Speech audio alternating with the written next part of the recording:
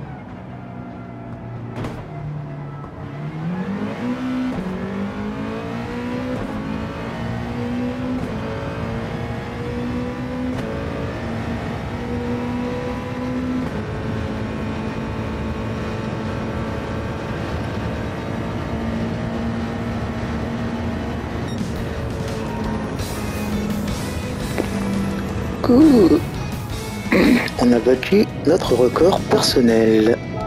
Ah ben, on peut être fier de ça. Alors, si tu as des questions, n'hésite pas. Reste passionné dans ce que tu fais. Fin de la vidéo.